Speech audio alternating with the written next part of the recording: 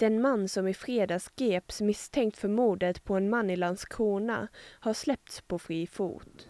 Det var sent i torsdags kväll som en man i 25 till 30 års åldern sköts på öppen gata i Landskrona. Mannen fördes till sjukhus men avled senare under natten av sina skador.